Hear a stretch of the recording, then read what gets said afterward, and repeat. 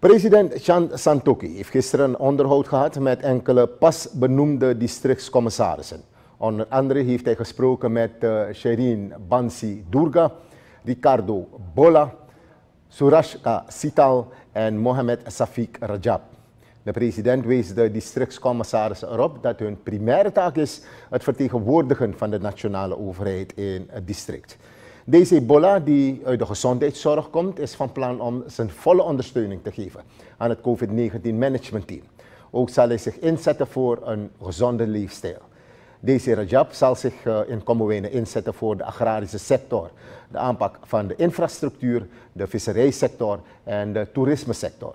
De president heeft de DC's op het hart gedrukt om elke burger gelijkwaardig te behandelen. Daarnaast moet het beleid van de regering conform wet en recht geschieden.